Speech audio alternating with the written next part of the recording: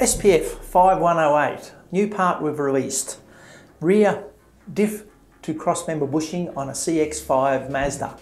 One of Australia's most popular small SUVs has this rear bushing experiencing a low service life in the field. The original equipment bushing is highly segmented and appears to be failing easily.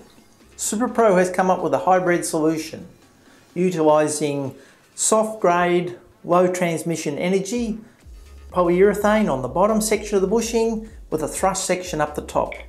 This hybrid bushing allows zero transmission of NVH, but the concept will give a very, very high service life.